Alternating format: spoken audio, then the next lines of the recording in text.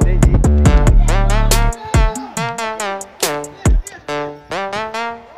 E se tratando de esporte, ou... também.